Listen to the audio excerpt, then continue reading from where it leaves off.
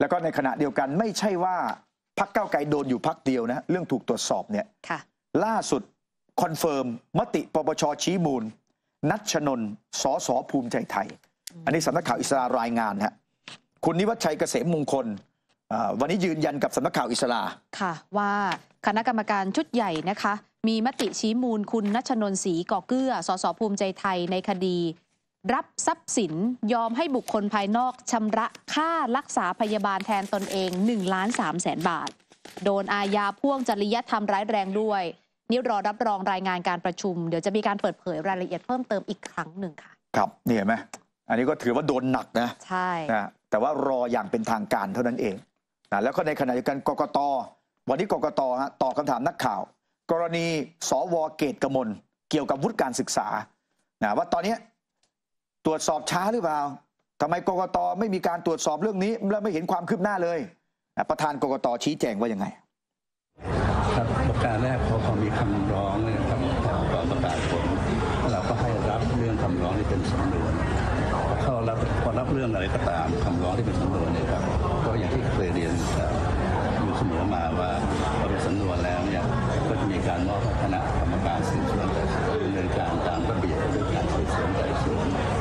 กรณีนี้หรือในทุกๆกรณีจะต้องมีการตรวจสอบพยานหลักฐานเชิญผู้ที่เกี่ยวข้องมาให้ถ้อยคำนะครับเรื่องนี้อาจจะมีผู้เกี่ยวข้องจากหลายหน่วยงานหลายทางที่จะต้องเชิญมาหรือขอเอกสารขอรับการยืนยัน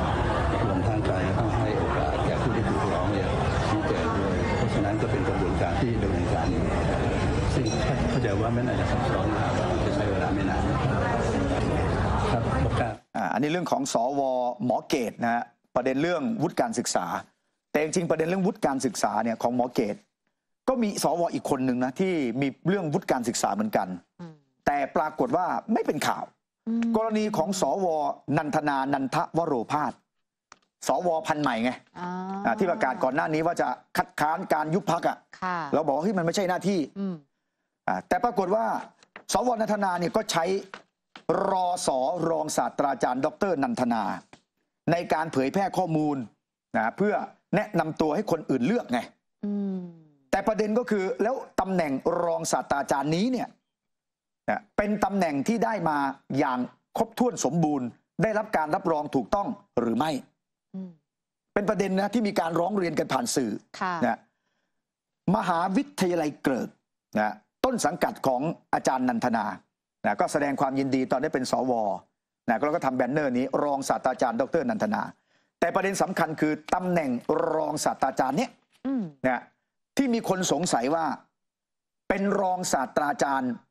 นะอย่างครบถ้วนสมบูรณ์หรือไม่ตามมาตรฐานของอวกระทรวงอุดมศึกษา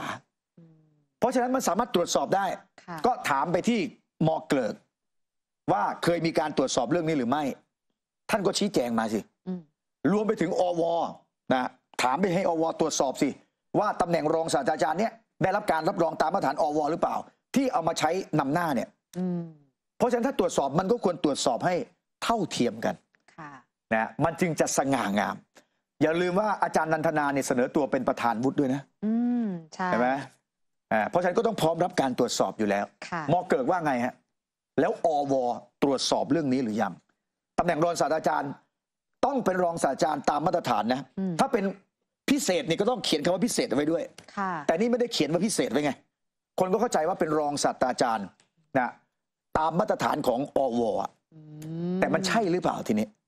อันนี้คือประเด็นค่ะนะส่วนการเลือกนายกอบจปทุมที่เห็นง่ายๆที่เห็นเงียบๆไป ขณะนี้กกตยังไม่ได้รับการรับรองนะฮะอืม คุณอิทธิพรบุญประคอง ท่านประธานกกตวันนี้ตอบหลายเรื่องเลย รวมถึงเรื่องนี้นะความคืบหน้าตอนนี้กกตคณะกรรมการสืบสวนไต่สวนยังดำเนินการอยู่ฮะนะถ้าผ่านอนุวินิจฉัยแล้วส่งมาที่กกตเนี่ยนะก็จะดำเนินการหลังจากนี้ต่อทันที แต่ตอนนี้อยู่ที่คณะกรรมการสืบสวนไต่สวนว่าจะเสร็จเมื่อไหร่ยังไม่จบฮะนี่ยังไม่รับรองอีกแล้วเนี่ยใช่ลุงชาญใจดีเนี่ยก็ยังเป็นยังไม่ได้พ่อสายทำงานบัวรออยู่ตอนนี้อืมในขณะที่ลุงแจ๊ดทีมกฎหมายบิ๊กแจ๊ดฮะ นะยื่นฟ้องกกตต่อศาลปกครองนะให้พิจารณาเพิกถอนเลือกตั้งนะยังไม่รับรองสักทีหนึ่งปรากฏว่าพันเอกนะปนดนะทีมกฎหมายของพลตรวจโทคำรณวิทย์ไปยื่นฟ้องกกตต่อศาลปกครองนะกรณีการเลือกตั้งนะปทุมนี่แหละครับ นายกอบจปทุมนะว่ามีการทำผิดกฎหมายเลือกตั้งโดยกกตเองอะ นะเคยร้องให้เพิกถอนสิทธิ์ผู้สมัครรายหนึ่งแต่จนขณะนี้ยังไม่มีคำสั่งอะไรออกมาอืมอันนี้เป็นความเคลื่อนไหวทางการเมืองโอ้เรื่องคดีการเมืองนี่เยอะเหลือเกินค่ะนะส่วนประเด็นเรื่องลุงตู่ลุงตู่จะ comebackนะวันก่อนเนี่ยเอ่อทางโหรหมอดูมาทำนายค่ะซินแสเข่งซินแสเข่งบอกว่าปีลุงตู่จะ comeback อะ68ในไทยรัฐออนไลน์ฮะลุงตู่ comeback โหรดังทาย มีเกณฑ์หวนคืนตำแหน่งใหญ่ คราวนี้คุณพินโยพงษ์เจริญนะ นายกสมาคมโหราศาสตร์นานาชาติ บอกว่าท่านอายุยังไม่เยอะ แต่ท่านไปอยู่ในจุดที่สูง โอกาสหวนกลับมาเป็นนายก ก็เป็นได้เมื่อบ้านเมืองต้องการ เมื่อชาติวิกฤตอืมนะนะมีเปอร์เซ็นต์สูงไหมมีความเหมาะที่จะเป็นผู้นำในช่วงประเทศวิกฤต ถือว่ามีเปอร์เซ็นต์สูง ทุกอย่างเป็นเรื่องของดวงดาวค่ะคุณพินโยกล่าวกับทีมข่าวไทยรัฐนะแต่จริงๆในบทสัมภาษณ์เนี้ยในไทยรัฐ Talk เนี่ย เขาไม่ได้พูดถึงพลเอกประยุทธ์ตำแหน่งเดียวนะค่ะพินโยพงษ์เจริญนะดวงแตก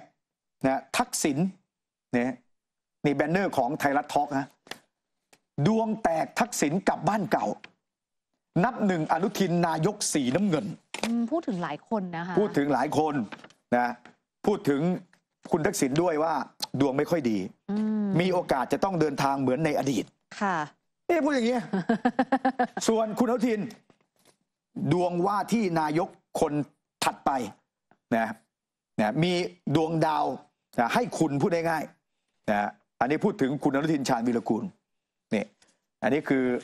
นักการเมืองที่ถูกคุณพินโยโหนกล่าวถึงค่ะนะแหมมองข้ามนายกเศรษฐาไปเลยนะค่ะนะคดีของนายกเศรษฐาเนี่ยสัปดาห์หน้าอืมนะตอนนี้ก็ประเมินกัน 50-50นะเดี๋ยวรอดูว่าสุดท้ายสารรัฐธรรมนูญจะว่าอย่างไรนะแต่ตราบใดที่ยังไม่มีคำวินิจฉัยเป็นอื่น ท่านก็ยังเป็นนายกอยู่ครับ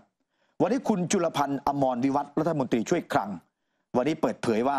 คดีของนายกเศรษฐาเนี่ยขอให้มั่นใจนะไม่ว่าจะมีอะไรเกิดขึ้น ไม่มีผลกระทบกับโครงการเติมเงินหมื่น แล้วประเทศชาติเดินหน้าต่อไป โดยส่วนตัวแล้วมั่นใจว่านายกผ่านร้อยเปอร์เซ็นต์อืมอันนี้รัฐมนตรีช่วยคลังกล่าวนะไม่ต้องพูดถึงเรื่องนโยบาย นโยบายเป็นนโยบายรัฐบาลเดินหน้าต่ออยู่แล้วนะ อันนี้คุณจุลพันธ์กล่าว ส่วนนายกเศรษฐาทวีสินนะวันนี้ก็พูดถึงเรื่องดิจิตอลวอลเล็ตเพราะว่าสวเนี่ยผ่านนะร่างกฎหมายเพิ่มเติมงบประมาณปี 67